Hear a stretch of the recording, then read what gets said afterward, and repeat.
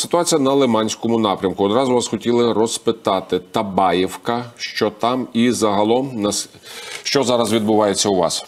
У нас ідуть тяжкі бої. На жаль, е, ми вже попереджені про е, можливість е, оточення і Слав'янська, і Лиману. Тому зараз максимальна концентрація, максимальна робота на упередження. Е, На жаль, є питання, все-таки залишається по е, засобам зв'язку, залишається питання відкритим по боєкомплектам. Е, Розумієте, що саме гірше ми недавно працював з одним нашим пораненим. Е, Він казав, що такої війни він воює з 2014 року. Він не бачив. Коли накривають, ворог накриває практично усіма можливими видами зброї. Сьогодні вже маємо офіційну інформацію про те, що за час е, широкомасштабки е, більше ніж тисячу разів використана навіть хімічна зброя. Та хімічна зброя підтверджує, теж використовується. Тобто всі види можливості використовує ворог всі види озброєння і всі можливості для того, щоб просунутися вперед. А на вашому напрямку, зокрема, як часто ворог намагається використовувати ту чи іншу хімічну зброю? О, ну, принаймні, е, що два тижні ми маємо повідомлення і маємо наших е, захисників з ознаками ураження хімічною зброєю. Пане капітане, ви згадували про Лиман. Розуміємо, що в районі Зарічного тривають бої. Так, ну і в районі Діброви ворог намагається просуватися.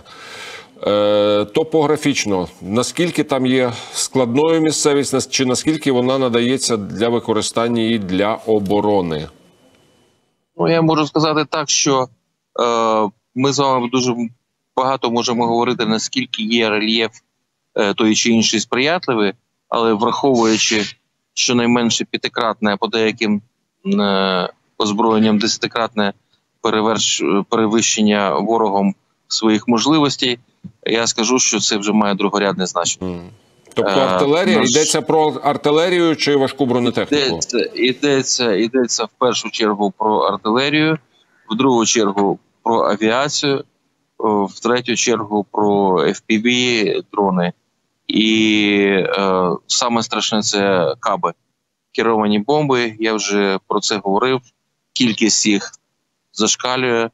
Е, з відкритих джерел, джерел навіть можна подивитися, що Росія, на жаль, володіє дуже великою, я б сказав, поки що нескінченною е, кількістю е, кабів, які активно використовує.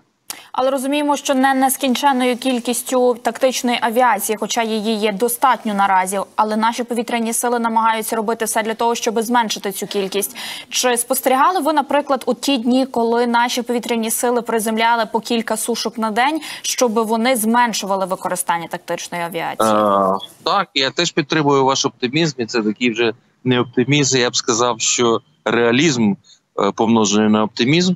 Чому? Тому що ви знаєте, е, недавно бачив, як працювали е, пара наших е, винищувачів, і ну фактично так будемо казати, що майже на наших очах відбувався елемент повітряного бою, і мушу сказати, що гордий, що незважаючи на що, незважаючи на те, що в нас немає достатньої техніки, але я думаю, що мужності і фаховості в нас набагато сильніше, більше, і тому наші повітряні сили ну вони, вони якраз нас надихають на те, що вони перемагають, незважаючи на те, що на жаль мають обмежені ресурси.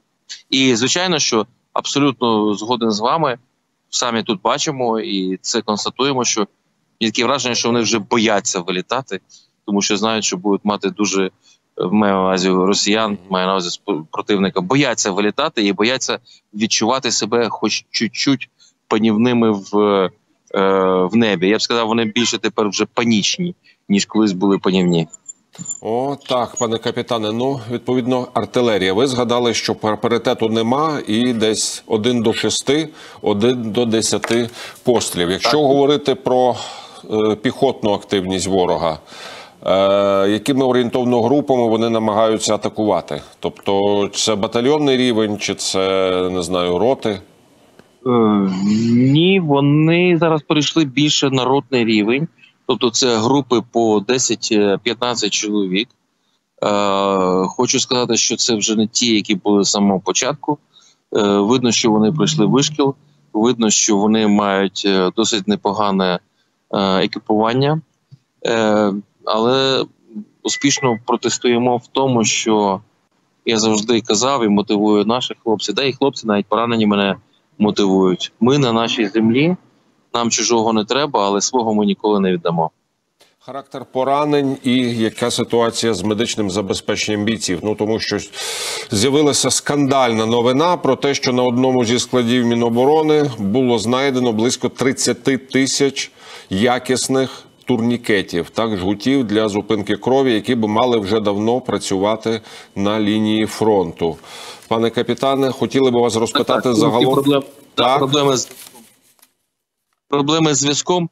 Е, що я вам скажу? Є завжди, на жаль, є людський фактор. Ми нікуди від цього е, не, не подінемося. І ви знаєте, що пояснення того, чому на складі е, були, наприклад, ті самі турнікети, тому що а якщо припиняться поставки, а якщо не буде, треба мати якийсь стратегічний запас. З другого боку, знаєте, я мені дуже подобається вишкіл тактичної медицини, який проходять всі наші бійці. А, тому що якщо раніше про турнікет могли говорити про те, що чи він є, то зараз ми вже концентруємося власне на якості цього турнікету. І е, дуже багато залежить в одному з інтерв'ю, я вже, мабуть, казав, чули, що дуже багато залежить від рівня командирів. Якщо командир стратегічно думає наперед про те, які треба вид забезпечення, особливо ми кажемо про медичне забезпечення, і є медик, який з ним працює в парі, то я вже бачу дуже хороші приклади, коли м, ми маємо, е, я б сказав, позитивні результати в тому, що самі бійці підходять і просять, якщо вони чогось десь не орієнтуються по протоколам TCC або Марч, вони самі просять пояснити або допояснити.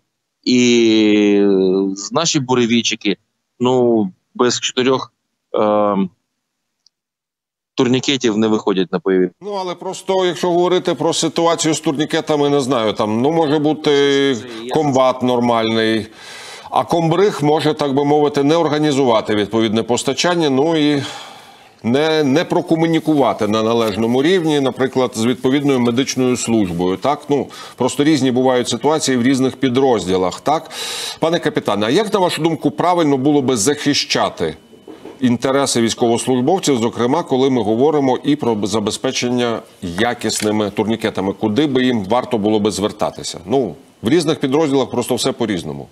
Е, ну, дивіться, я працюю і служу, маю честь служити в Національній гвардії України, і, е, і незалежно від того, як, де знаходиться в яких силах оборони, все рівно е, департамент медичного забезпечення, е, який очолює зараз е, Казмерчук або управління медичного забезпечення, воно зараз головне, тому що ми всі підпорядковуємося Збройним силам України, Міністерства оборони.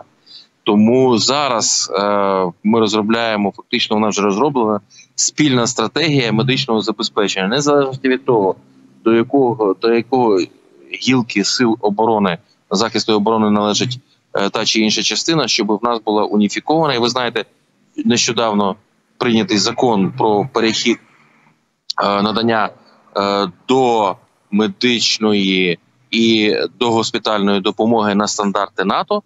Є спеціальний цей закон. Він невеликий, але він дуже чіткий.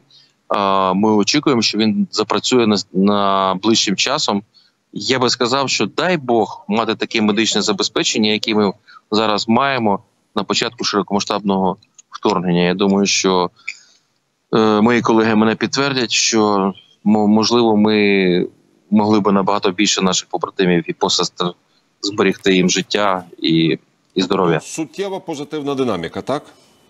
Так, абсолютно позитивна динаміка, і я це констатую, е, будучи на практично передньому краї, тому що е, є проблеми логістики, є знову ж таки повторюється людський фактор, і є питання координації дій.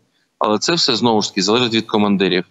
І я завжди казав, що в першу чергу нам треба думати про наш командирський склад. Дякуємо вам, пане Андрій. Андрій Гу, капітан медичної служби бригада гвардії наступу Буревій, нейрохірург, кандидат медичних наук з Лиманського напрямку, був в етері Еспресо.